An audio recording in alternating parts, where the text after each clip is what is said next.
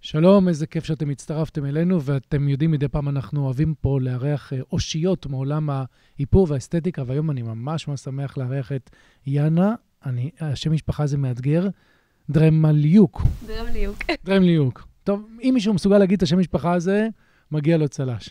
ויאנה, את, אה, את פה, בלי קשר לזה שאת גם בוגרת שלנו וגם uh, מאפרת מהממת, בגלל שאת נהיית מין uh, גורו איפורי פייסבוקי, ויש לך הרבה מאוד אנשים שעוקבים אחרייך. איך הכל התחיל? האמת שהכל התחיל מסתם סרטון שבחרתי להעלות. אה, לא תכננתי ממש, אתה יודע, הנה, מעכשיו, מהיום אני, אני מעלה סרטונים. זה התחיל ממש מסרטון אחד ש, שפתאום רציתי להעלות אה, למכור איפור, לקבוצה. ומשם גם העליתי את זה לפייסבוק שלי האישי, וככה קיבלתי עוד תגובות על תעשי סרטון לגבות, ואז כאילו זה התפתח והתפתח, ומשם פשוט, לא יודעת, הכל זרם. כן, באמת זה נראה כאילו הכל זרם ולא הייתה איזושהי תוכנית עסקית, אבל אני חושב שחלק מה... נקרא לזה, מההצלחה של הזרימה, זה שאת מתייחסת לכל גולשת. כל אחת ששואלת משהו, אולי זה גם מה שגרם לזה לאנשים לפנות אלייך, כי הם הרגישו שהם יקבלו מענה.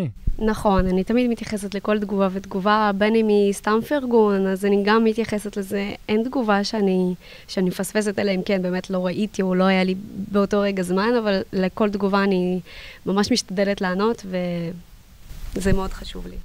בעצם אה, אפשר לומר שהתחלת את הסרטונים כחובבת איפור, לאו דווקא כמאפרת. נכון, עוד לא, בתקופה הזאת עוד לא הייתי מאפרת, עוד לא למדתי איפור. ואחרי שלמדת הרגשת שמשהו השתנה, או שבעצם קיבלת הוכחה שמה שאת עושה, את עושה טוב? אה, לא יודעת, אני פשוט, זה, זה נטו בשביל עצמי כזה, לעשות וי שהנה, עכשיו אני מאפרת מקצועית, כי הרבה גם היו שואלים אותי, את מאפרת מקצועית, את מאפרת גם מחוץ לסרטונים. אז זה נטו היה גם בשביל, כן, לסמן לעצמי את ה... הנה, אני עושה את זה טוב, וכן, אני יודעת מה אני עושה.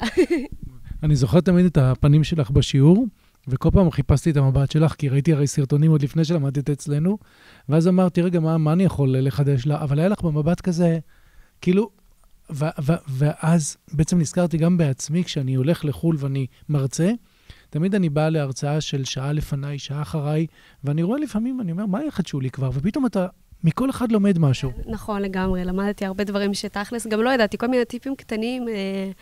שבאמת עד עכשיו אני משתמשת בהם, אז זה לגמרי כאילו עוזר, לא רק בשביל לסמן וי שהנה, אני גם מאפרת מקצועית, אלא כן לקחת גם ידע, ש...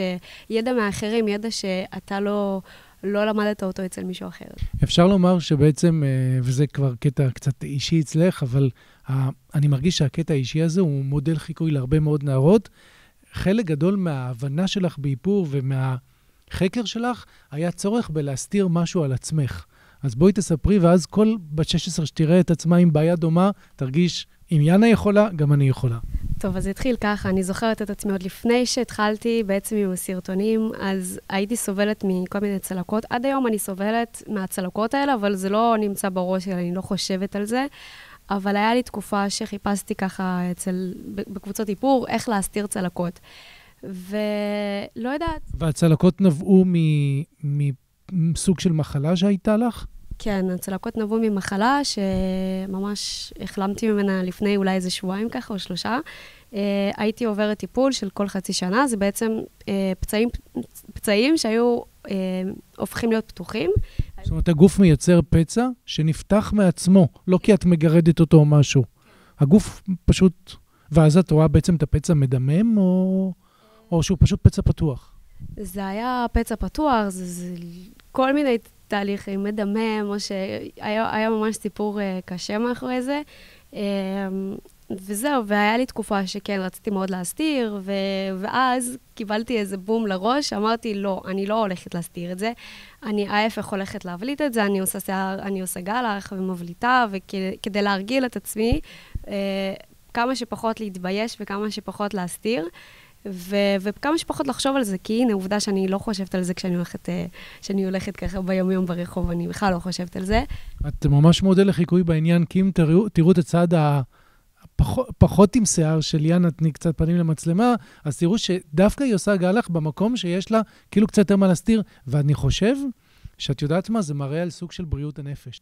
סביר מאוד להניח שבלי קשר לבחורות רגילות שרוצות סתם לדעת על איפור יפה, את מהווה איזשהו כתובת לאנשים שכן רוצים להסתיר משהו, ואת מלמדת אותם איך. בגדול, אני, האמת שאני לא מקבלת שאלות, וכאילו, אז הייתי מקבלת שאלות, מה יש לך בצד.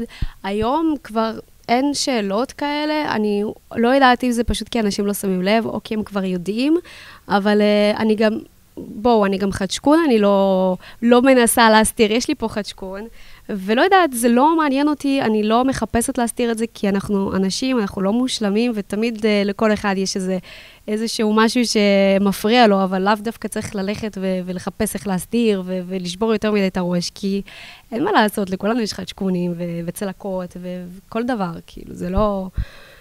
עכשיו שאני מדבר איתך, אני מבין למה הפכת לגורו. יש בדרך שבה את מסבירה על דברים כל כך הרבה קבלה עצמית וטבעיות, ואולי זה מה שאנשים מחפשים דווקא בעידן האינסטגרמי והפייסבוקי, שכולם עוטים על עצמם פנים חדשות. את באה ואומרת, תחיו עם הפאקים שלכם. כן, זה נכון. אה, כל הנוער בעצם מנסה לחקות את המודל היפה שנהיה כביכול, בין אם זה כל רשת חברתית היום, ש, שאתה רואה מישהי שנראית ככה, אז כאילו אתה מאוד רוצה להיראות כמוה. אה, ואני לא חושבת שזה נכון, אני חושבת שכל אחד צריך לקבל את עצמו כמו שהוא. אה, בין אם זה במראה חיצוני, בין אם זה בהצלחה שלו בחיים. כל אחד הוא מיוחד בפני עצמו, ואנחנו לא צריכים להיראות כמו מישהו אחר, אנחנו לא צריכים להסתכל אה, על התמונות של אותן בנות ו- ולנסות להיות כמוהן, בין אם זה במבנה גוף, בין אם זה בפנים, בין אם זה בכל מיני דברים כאלה. את מהממת פשוט. הקליפים שלך, או בעצם הסרטונים שלך, ידועים בחוש הומור. זה משהו שיוצא לך טבעי, שחשבת עליו? כן, האמת שאני עושה את זה מה, מהרגע שבעצם נפתחתי למצלמה, זה לא, לא היה לי את זה ממש מההתחלה של הסרטונים, כי היה לי כזה מאוד uh, מביך, כאילו, מול המצלמה. היום אני לא רואה סרטון שלי רגיל, כאילו סרטון שלי בלי איזושהי תנועה, בלי מוזיקה, בלי קצב, בלי, בלי משהו משמח גם, כי זה... תני לנו דוגמה לפרצופים המהממים שאת עושה. כאילו כל מיני, יש לי, יש לי מלא, אבל זה גם בזרימה, אני פשוט שמה מוזיקה, מתחילה להתאפר, וכאילו, לא יודעת, זה מה שזורם.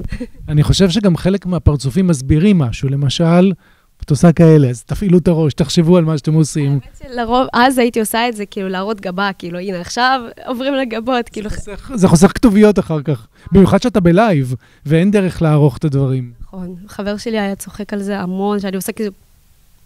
טוב, את מקסימה, נורא כיף שהיית פה. תודה לכם על ההקשבה, ואנחנו כבר עוברים לחלק האיפורי. בהצלחה.